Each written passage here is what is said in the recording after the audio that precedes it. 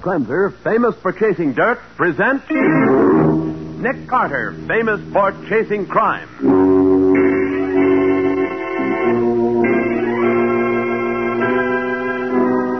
Every week at this time, two great names are joined as Old Dutch Cleanser brings you one of the most resourceful and daring characters in all detective fiction Nick Carter, Master Detective.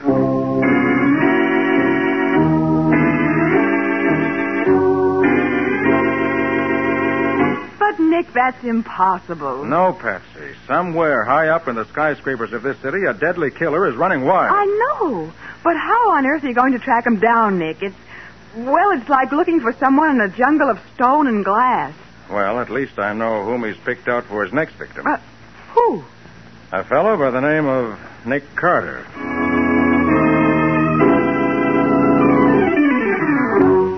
Now, the case of the careless employees. Today's exciting Nick Carter adventure brought to you by Old Dutch Cleanser.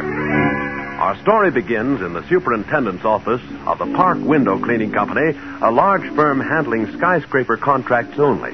Bill Stevens, one of the company's window washers, is talking to the superintendent, Frank Marston. I just dropped in to give you my notice, Marston. I'm quitting this coming Saturday. What? You heard me. I'm handing in my equipment oh, Saturday. Wait a minute, Bill. Take it easy. It's more money you want. You couldn't pay me enough to keep me washing windows for the park company, Marston. But, Bill, you've been with the company a long time. Yeah, and I want to live a long time. I don't like all these accidents that are happening to pals of mine. Look at Ed Kelly. He fell 40 stories to the street two weeks ago. And then last week, Joe Drummond took a nosedive from the Embassy Hotel Towers. And then only yesterday, Tim Bolin hit the bricks.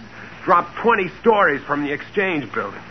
And each of them so badly smashed you could hardly identify them. Well, oh, sure, I know, but we're bound to have a run of bad luck now and then, Bill. Those fellows probably got a little careless. Nuts. They were old timers, and you know it. They knew where to put their safety belts and how to handle themselves in a high wind. The truth is, this here company is jinxed. And what do you mean by that?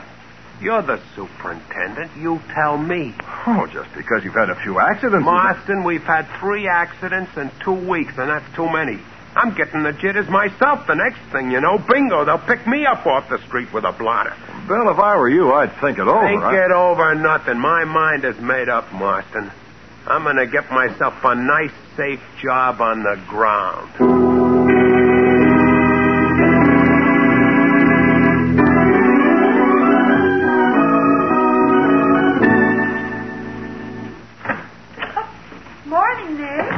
Good morning, Patsy. Oh, gosh, do I feel embarrassed. Letting the boys beat me into the office. Ah, Patsy. Uh, what's the matter, Nick? Leave that bunch of fruit you call a hat right where it is. We're going places. So early in the morning. So early in the morning. John Farron just called and asked us to go to work for him. Farron. Mhm. Is that Farron of Atlantic Underwriters? That's the man. And I might remind you, his company pays us a handsome annual retainer for services rendered. In other words, you've got yourself a case. I have. Well, what's it all about? Well, Atlantic issues a special high premium policy to window cleaners. And three of these insured window cleaners have fallen from skyscrapers in the last two weeks. What does that have to do with you? In the first place, statistics show that no window cleaner has died by accidental fall in the past two years. Now, for no apparent reason, three of the poor devils plunged to their deaths in two weeks. It could be coincidence, Nick. Yes, it could, but I doubt that it is. Hmm? Listen to this. There are only two big contract window cleaning companies in town the Park Outfit and the Community Window Cleaning Corporation. Uh-huh. Between them, they handle millions of dollars worth of skyscraper business annually. And they're bitter rivals. Well, who had the accidents, Park or Community? Or, or both? All the accidents have happened to Park, none to Community. I see. Of course, that could be coincidence, too. Uh, I'm afraid this case has too many coincidences. Well, what are we going to do about it, Nick? In other words, where now? To headquarters. I want to check a few details with Matty before we really get going.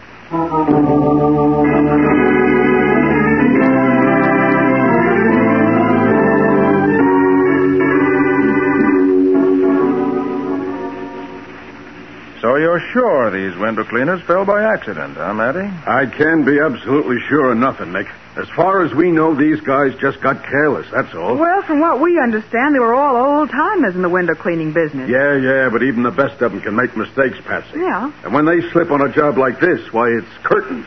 Or I should say shrouds. Oh. Now, what about the safety belts these cleaners are wearing, Matty? Nick, I checked them myself. They were in perfect condition. Not a thing wrong with them. And the bolts on the sides of the windows to which they hooked their belts? Went over them personal, every one of them, and every window where these men were cleaning when they fell. Those bolts were in solid, Nick, not a loose one on the lot. Well, Nick, that's that. Why, sure, you're just wasting your time, Nick. The medical examiner looked over each of the bodies and reported death by accident, fall and violent contact. Island is right. Oh, Nick, I've seen men smashed up in my time, but these fellas. Uh, we could barely identify them. Well, nevertheless, I still can't get over the fact that these accidents happened so close together and only to the men in the park company. Well, Nick, look, these window cleaners stepped out on a windowsill and slipped. Or they were blown off these skyscrapers by a high wind before they got their belts hooked. Oh, I don't know. But we're booking them as accidents, and that is that as far as we're concerned. All right, Matty, you may be right. But until I've exhausted every possibility, I'm not going to be satisfied. Come on, Patsy. Uh, where are we going this time? Uptown. I want to talk to the superintendent of the park company.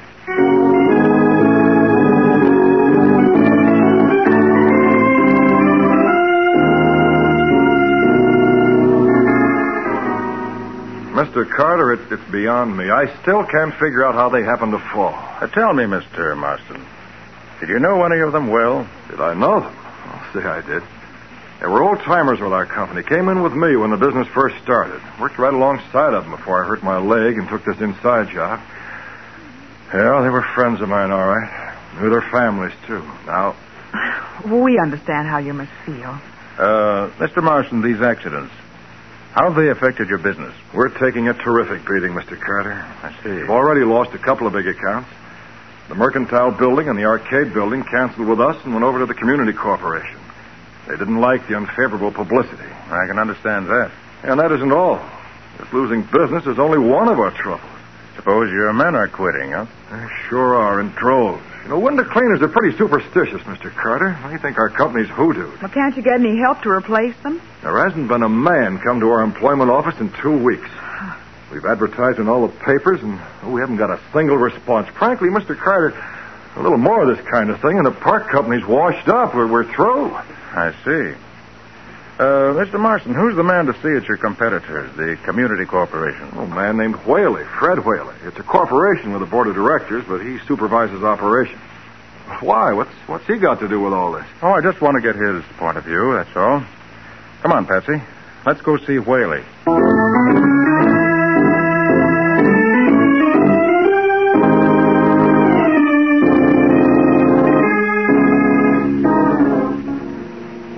Mr. Carter, I'm a very busy man. I don't have much time. Now, what do you want? Miss Bowen and I are investigating those accidents over at Park on behalf of the Atlantic Underwriters. Well, why come to me? Nothing's happened to our window cleaners. Why don't you talk to the park people instead of coming here to waste my time? Look here, Whaley. You don't have to tell us anything if you don't want to. But at least you can be civil. Okay. Well, what do you want? We don't quite understand why all the accidents seem to be happening to the park company alone. Meaning what, Carter? Meaning anything you like. Or nothing. Look here, Carter. Are you implying we're responsible? I'm not making any accusations, Whaley. We just thought you might have an idea. I haven't. Uh, I mind my own business, operating the Community Window Cleaning Corporation. What happens over at Park doesn't interest me. Is that clear? Clear enough. But is it the truth? Now, wait a minute. Wait a minute, Carter. Do I understand you to insinuate that What I... I'm saying is common knowledge in business circles, Whaley. Park has already lost several big skyscraper contracts to your company. They lose a few more, they'll fold up. Well, that's their affair. It's not mine. Though I'd be happy to see them fold up. Now, is that all? Yes, yes, Mr. Whaley, that's all. For now.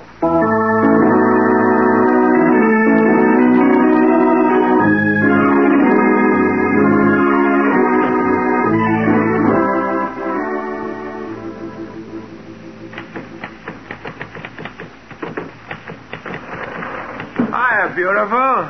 Fresh. Oh, now listen, I just got carried away. You know, when you're cleaning windows on these big buildings, all you see mostly is a lot of sourpusses. But you, boy, you're the best looking babe I've seen in any of these offices. Oh, you really think so? Honest, no kidding.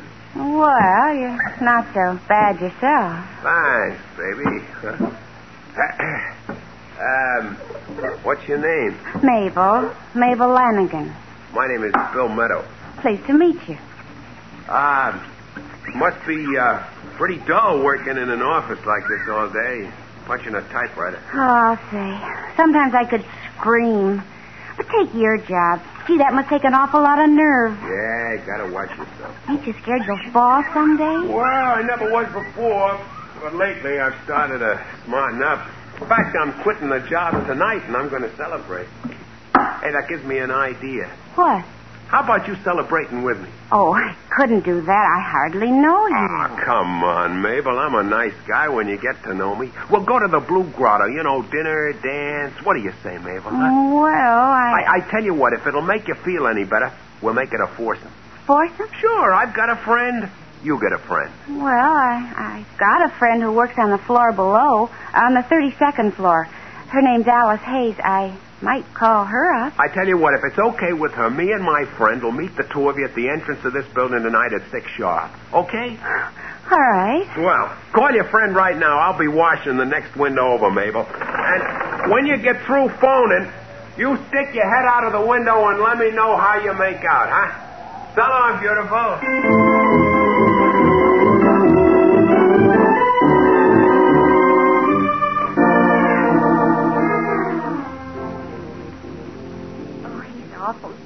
Alice. Honest, he is.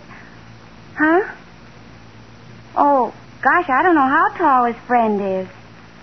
Yeah, sure, it's embarrassing when you're taller than the man you're with, but I- I'll tell you what, Alice. Hold the wire. Bill's washing the window in the next office. I'll ask him how tall his friend is. Hold on.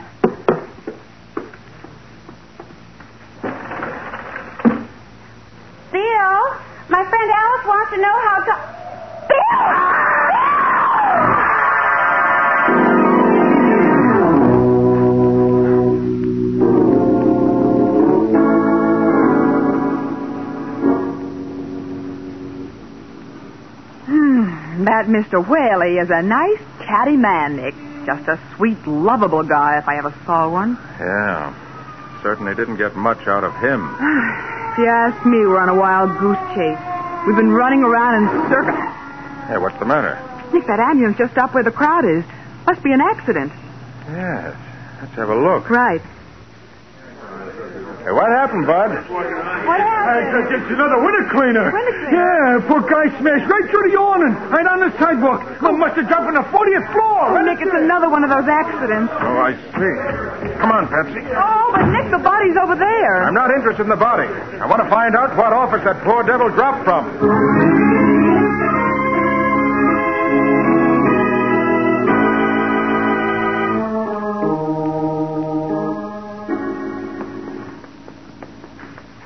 You say it was the office next to yours. That right, Miss Lanigan? Yes, sir.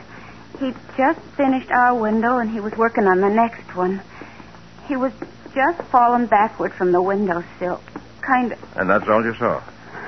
Yes, sir. Uh, Nick, I, I think we better let Miss Lanigan go now. She isn't feeling very well. Yes, of course. Just as soon as she tells us which office it was. It's this one right here. It used to be rented by the Berger Woolen Mills, but it, it's empty now. I see. Thank you very much for your help, Miss Lanigan. You're welcome, I'm sure. All right, let's go in, Patsy. Right, Nick.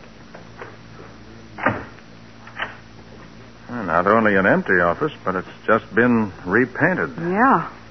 Floor's still a little sticky from a fresh coat of varnish. Hey, Patsy, look. Look at what? The floor. Huh? A very faint imprints of someone's feet on the varnish. Nick, you're right. Wait.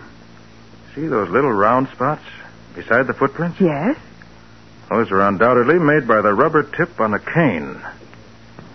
So the man who came into this office was lame, huh? Does that suggest something to you, Nick? Now, wait a minute, wait a minute. Hey, look. Hmm? There are a number of prints at the window, too. Must have been left by the window cleaner. Apparently, he was cleaning the inside of the window when the lame man came through the door. Nick, I still don't see what But the window washer's pail is on the outside sill of the window. Well, what of it? Well, look at the window, Patsy. Look at it. Hmm? It's already been washed on the outside, and the cleaner had started on the inside surface. That means the cleaner was working on the inside when he was. interrupted. Nick, if that's the case, why is the pail on the outside of the window? Precisely, Patsy. It shouldn't be. Unless someone deliberately put it there after the window cleaner was dropped to the street. Then this was no accident. I'll say it wasn't. It was murder.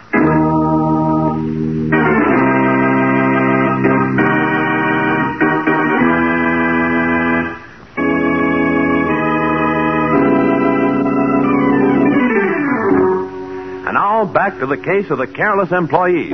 Today's Nick Carter adventure brought to you by Old Dutch Cleanser. It is Monday now, and Patsy is just coming into the office after doing a job of research for Nick. Well, Nick, I checked back on those three accidents that preceded Bill Meadows. And? And your hunch was right. Every one of those window cleaners fell from the window of an empty office. Good going, Patsy. This proves that the murderer was someone who knew the schedules of the park company crew. And knew them to a dotted I and a crossed T. He showed perfect timing, picking empty offices where he wouldn't be disturbed. And his motive certainly is obvious enough. To ruin the park company, drive it out of business. Hmm.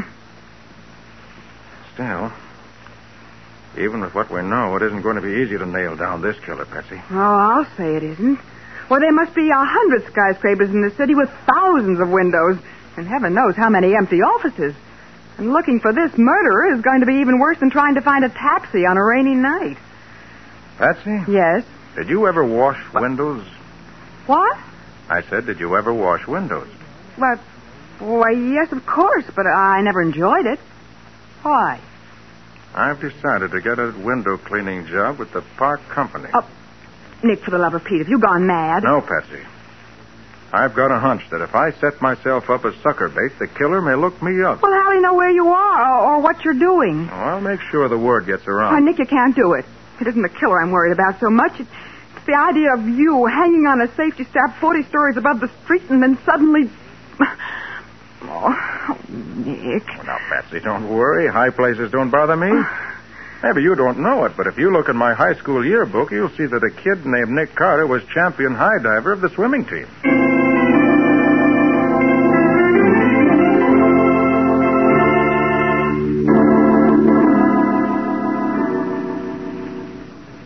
Say my men were murdered, Carter? They didn't fall just by accident? That's right, Marston. Well, what makes you think that? Well, I won't go into the details now, except to tell you I know they were murdered. And the killer is a man who uses a cane. Probably walks with a limp. Walks with a limp. Well, that's interesting, Carter. Is there anything I can do to help you track him down? Yes, Marston. You can give me a job cleaning windows. Did I hear you right, Carter? You want me to give you a what? A job with one of your regular crews. Well, by all that's holy, why? Because I have a hunch that if I'm on a window washing crew, this skyscraper killer may pay me a visit. Well, I... Oh, now look here, Carter. You're out of your mind. This is the whole idea. It's... Well, it's crazy. You've never had any experience. This kind of work's pretty tricky and dangerous. I'll take the chance. You're sure you want to do this? I am. Okay. It's against my better judgment, but I'll give you the job. All I can say is you be careful. Oh, don't worry, Marston. I expect to be careful. Very careful.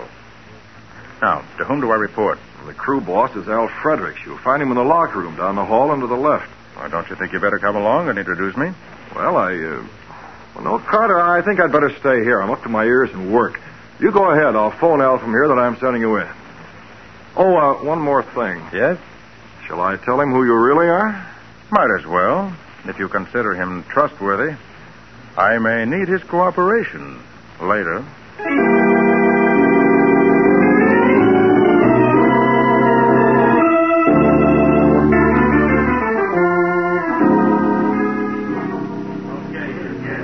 You, Al Fredericks? Yeah, that's right. Mr. Marston told me to report to you for work. My name is Carter, Nick Carter. Yeah, so Marston told me over the phone just now, but I don't like it. Pretty dangerous work, especially for a green hand. Oh, I know what I'm up against. Okay, I'll put you on the first thing in the morning. I don't know exactly what you're up to, Carter, but let me tip you off to one thing. Yes? Be careful.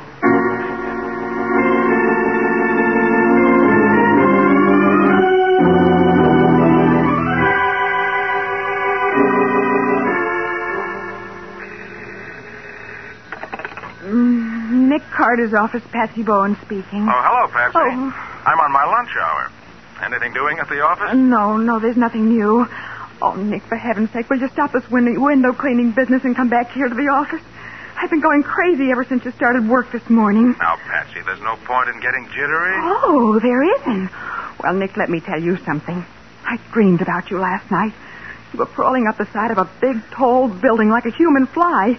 And then, when you almost got to the top, a huge bird swooped down and started to attack you. You tried to fight back, but you had to hang on and you couldn't. And then, then all of a sudden you lost your grip and. Oh, Nick. I thought I lost you. No, no, Patsy, I'm doing fine so far. Don't worry. Oh, all right, Nick. I'll try not to. Anything new? No. But if the killer wants to look me up this afternoon, he'll find me on the 32nd floor of the Globe building.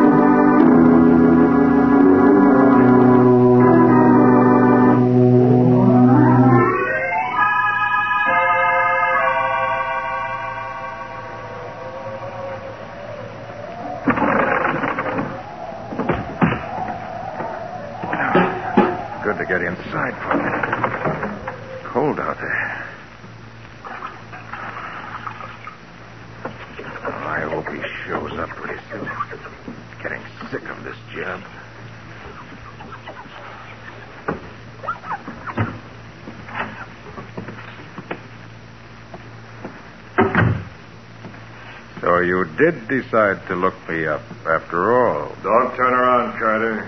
Keep facing that window. And get your hands up if you don't want a bullet in your back.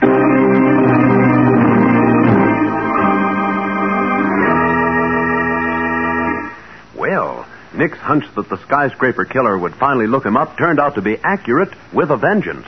We'll be back to see what happens in just a moment.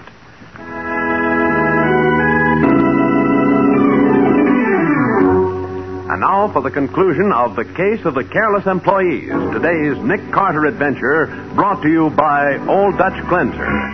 As we pick up our story, Nick is facing the window with his hands up while the man with the limp points a gun at his back. I see you picked out a nice empty office as usual, Marston. So you know me, eh, Carter? I do. Not that it matters much now. But how did you know? When I first met you, you met first met you, you mentioned the fact that you had a bad leg. Yeah, so I did. That was stupid of me, wasn't it? Very. Then later, when you refused to get up from your desk and walk with me to the locker room, I was pretty sure.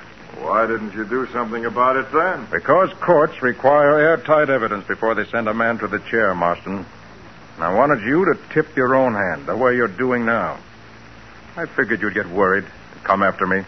Yeah, you're a smart detective, Carter. But this time you've outsmarted yourself. Have I? You sure have. It's 32 stories to the street, Carter. You've got a one-way ticket. Down. I suppose the community corporation's paying you off to ruin your own company. Ah, no. Not the corporation. Just my friend Whaley. You see, Whaley gets a big bonus if community does a big business. I get a dividend. $25,000 for turning over to him a million dollars worth of park business. I see. Now, Mr. Carter, I'm going to treat you just as I did the other. No favoritism. I'm going to tap you on the back of the head with the butt of this gun, knock you out, then I'm going to drop you out of the window. Of course, they'll never notice a little bump on your head after you hit the street. They'll call it an accident. Just an accident. Hey, don't like water on your face, do you? Too bad. You missed, Marston. You won't get another chance. Oh! Well, Mr. Marston, looks as if you're the one who suffered a little accident, not me. An accident that should please my friend Matty very much indeed.